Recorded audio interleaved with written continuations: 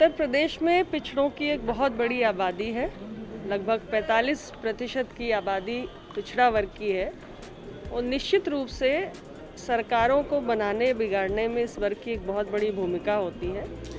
और मुझे पूरा विश्वास है कि जिस प्रकार से मोदी जी की सरकार ने पिछड़ों के हक में कई फैसले समय रहते लिए हैं, आपने देखा कि राज्य सरकारों को अब पिछड़ा वर्ग की सूची बनाने का अधिकार भी मोदी सरकार ने संसद में कानून बनाकर किया। इसी प्रकार जो हमारी ऑल इंडिया कोटा होता है नीट की परीक्षा में, उसमें पिछड़ों के आरक्षण को लागू करने का ऐतिहासिक निर्णय भी मोदी जी की सरकार ने किया। और निरंतर हमारी सरकार का यही प्रयास है कि सभी वर्गों के कल्याण के लिए काम करना है और विशेष तौर से जो वंचित तबका है उसके हितों से जुड़े हुए फैसले समय समय पर सरकार लेती आई है और आगे भी लेती रहेगी। विपक्ष का काम ही होता है सरकार को कटघरे में खड़ा करना, तमाम आरोप लगाना, लेकिन आरोपों पर फैसला देने का अधिकार जनता का होता है। चुनाव आ रहे हैं। इस वर्ष 2022 में उत्तर प्रदेश का विधानसभा चुनाव है।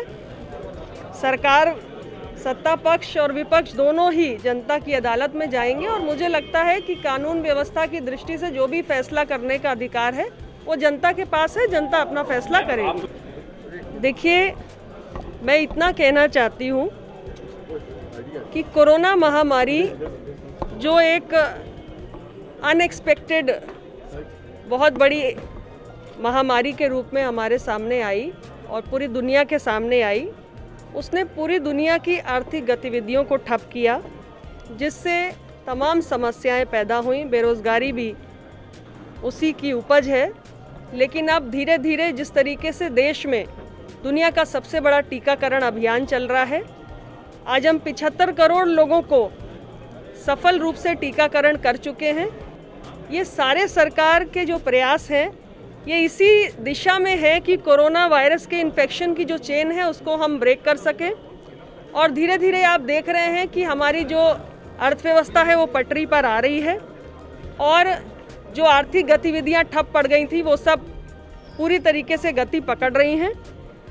और उत्तर प्रदेश की सरकार भी निरंतर प्रयास कर रही है कि प्रदेश के अंदर बेहतर इंफ्रास्ट्रक्चर का निर्माण हो, ज़्यादा से ज़्यादा इन्वेस्टमेंट आए, निवेश हो।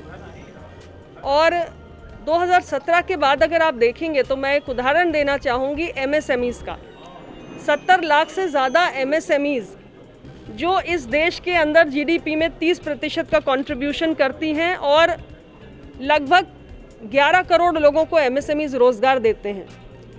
उत्तर प्रदेश के अंदर 2017 में सरकार बनी है, उसके बाद से 70 लाख एम खड़े हुए हैं। जिसके ज़रिए बड़ी संख्या में रोज़गार सृजन हुआ है। मैंने मुझे लगता है कि बेरोजगारी के सवाल का जवाब दे दिया है। नहीं कांग्रेस मना रही है और सपा मना रही है। इन लोग को क्या कहेंगे? मैंने जवाब दे दिया है। ठीक है। अच्छा कृष्णा पटेल। दल को अधिकार है अपने तरीके से। मैंने कहा ना मुद्दे उठाने का हर किसी को राजनीति करने का अधिकार है। प्रियंका गांधी आ रही है मैम। यूपी का चेहरा लिया बन के क्या कहेंगे?